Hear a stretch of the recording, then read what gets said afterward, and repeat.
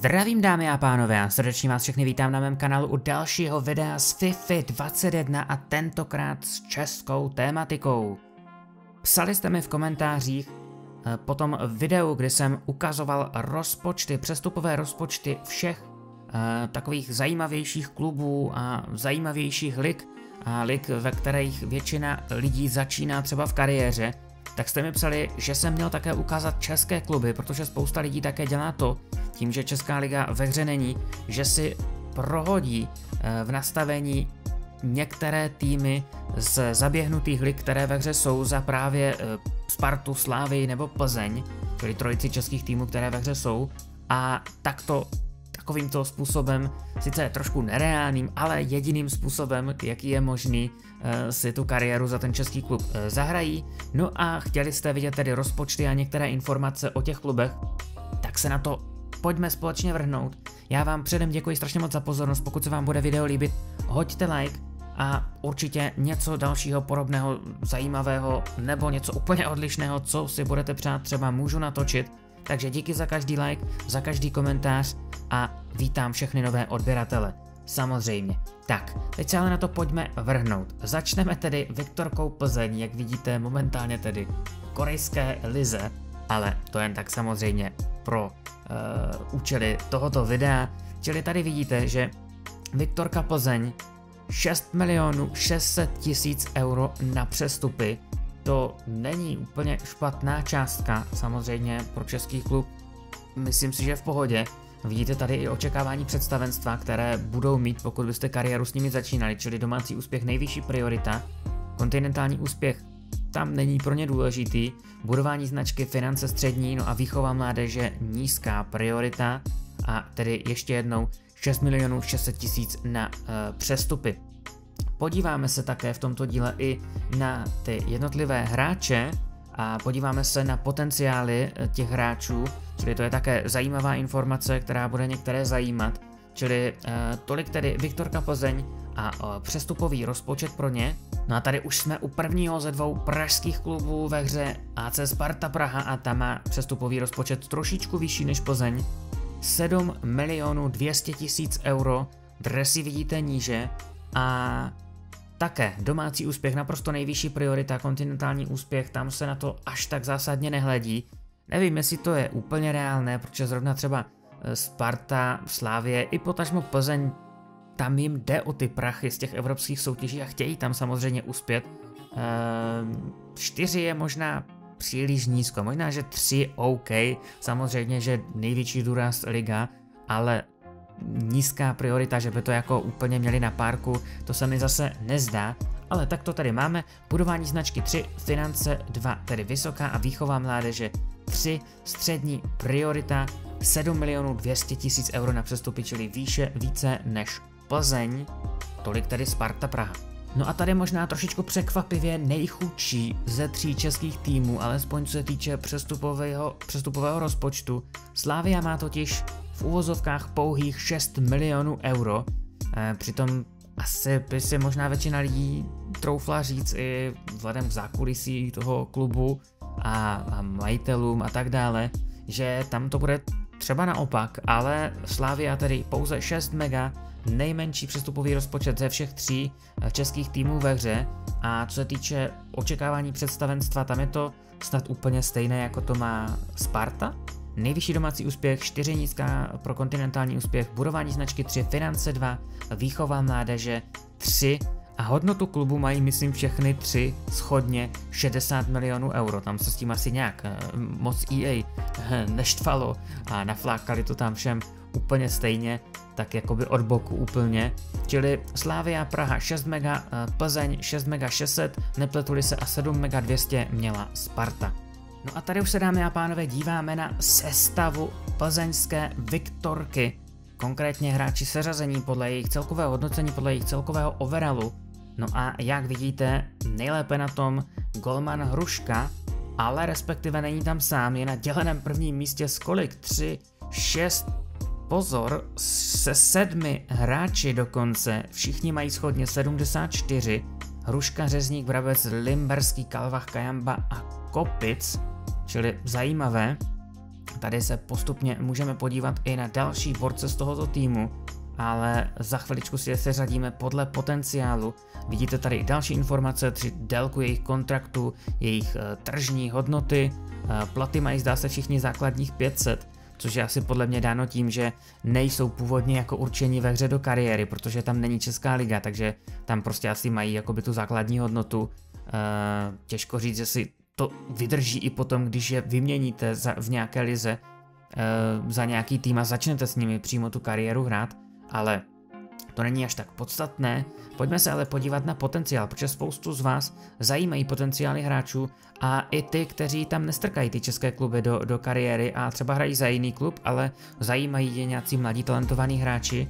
No a nejlepším v tomto ohledu je z Viktorky Pavel Bucha, nepletuli se, ano, Pavel je křesním jménem, 73 eh, základní overall, 81 jeho potenciál, 22 let, čili mladý, dost mladý, hodnota 6 mega, na to se můžete dívat z různých pohledů, podle toho, za jaký klub byste hráli.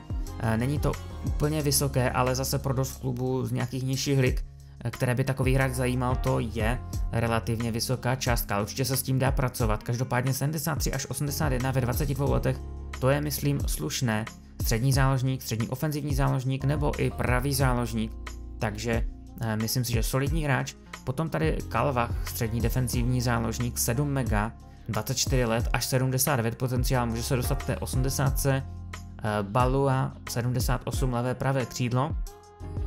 Ale mě by také zajímalo, kdybychom si to seřadili vyloženě podle hodnoty od těch nejlevnějších, tak nejlevnější sváček Golman, ale tady je mnohem zajímavější Jindra Staněk, 725 tisíc jenom, ale 66 overall až 74 potenciál, čili uh, to je určitě zajímavý Golman. A tady ještě zajímavější hráč Christian Hertz, 21 let, jenom 900 tisíc, ale 65 až 76 potenciál, střední záložník, střední ofenzivní záložník.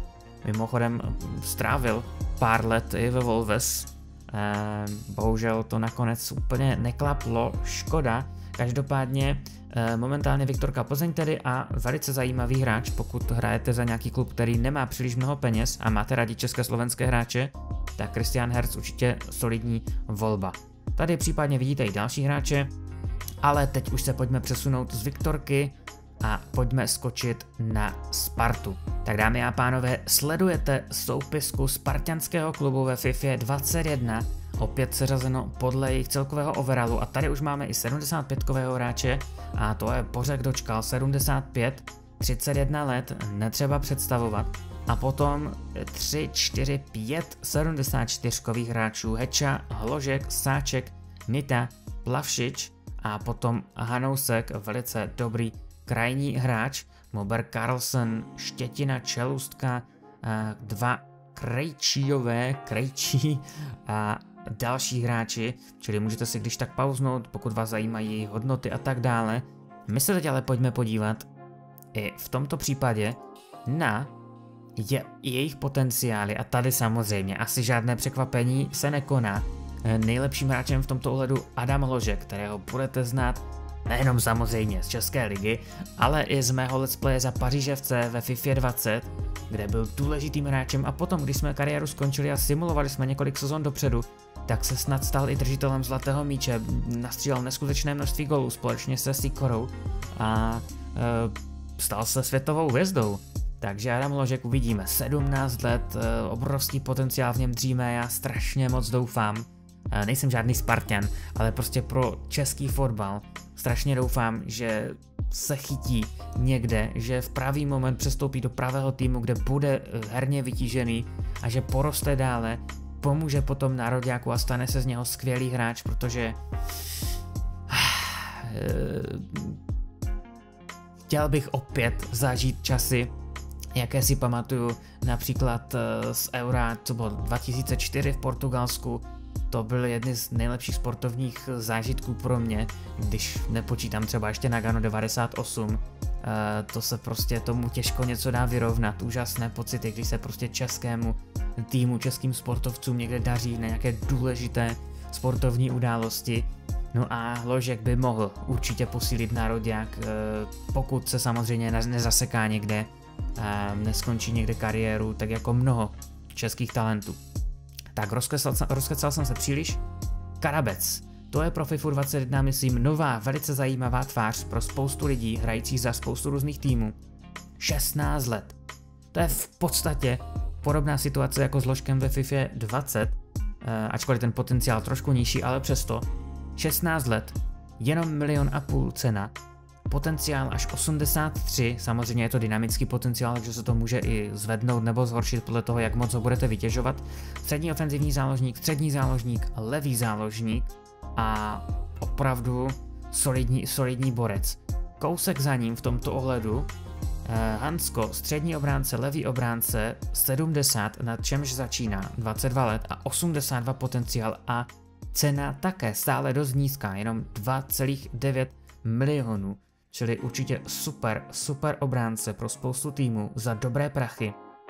Míša Sáček, také zajímavý, eh, Liška, stále i krejčí by se dalo říct, Polidar, jenom 1 mega 65 až 78, levé křídlo, levý obránce, z těch úplně nejlevnějších, velice zajímavý třeba Hušek. Když si to zřadíme i podle té hodnoty, jak jsem to dělal u Plzně, pokud se to podaří, no nepodaří, bohužel, tak přece jenom nakonec. Hušek 250 tisíc, to jsou pro kariéru pro většinu týmu i z nižších lig úplně téměř žádné peníze. A z 58 se může vysplat až na skoro 80 je to stoper, takže určitě zajímavý hráč. A potom možná ještě, hm, ještě možná Minčev, relativně OK, 700 tisíc až 76, 63, uh, ofenzivní hráč, takže zajímavé. Panák také uh, solidní a je jich tam více takových relativně dobrých hráčů. Tady to je určitě mnohem lepší než u Plzně ten výběr. No a teď už pojďme na Slávy. No a tady máme Slávy a tady jsou ty overaly na špici mnohem vyšší Tady jsou dokonce tři hráči 78. Kolář, Coufal a Bořil. Coufal tady stále ještě tady ve Slávii. No a potom 77, 76, 75, až tady potom hluboko dole 74, tedy oproti Spartě a Plzni je dost rozdíl, tedy alespoň co se týče těch top hráčů. No a tady tedy můžeme přejet níže, můžete se podívat na všechny, kteří by vás zajímali, pauznout si to kdykoliv budete potřebovat No ale my se pojďme zase podívat na ty potenciály, které mě zajímají. Kolář, 25 let, 78 až 83, 10 mega hodnota tomu odpovídá.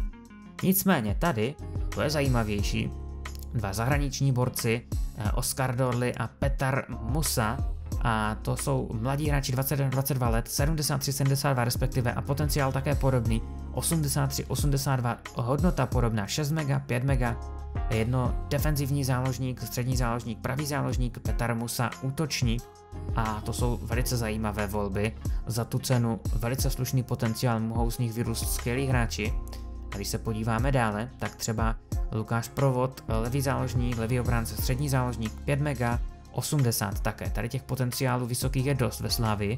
Linger, jenom 3 mega, 70 až 80.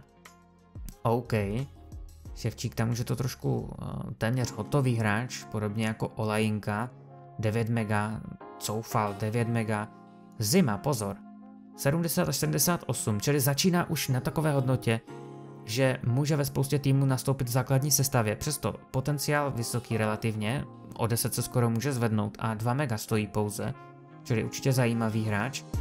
A když se podíváme zase i tradičně na tu hodnotu od těch nejlevnějších, co tady najdeme, Joao Felipe, levý pravý křídelník, Brazilec, 19 let, 64 až 77, 850 tisíc jenom. To je mega růst o 13 bodů za 800 tisíc a začíná na 64, co už je hratelné tedy, tak eh, to je zajímavý borec. No a ještě potom něco? Ne, potom už takových vyloženě levných hráčů tady nic takového není. Čili každý z těch českých týmů nabízí něco jiného. A tolik tedy Slavie. A to je myslím vše. To je myslím vše. Dneska taková rychlovka. Já doufám, že se vám video líbilo. Pokud ano, hoďte like, foukněte to tam, budu vám moc vděčný. Mrkněte i na má další videa, ať už vás zajímá cokoliv z FIFA nebo přímo kariéra za Sunderland, která je nedílnou součástí mého kanálu každoročně. no a i jakékoliv jiné sportovní, motorsportové videa.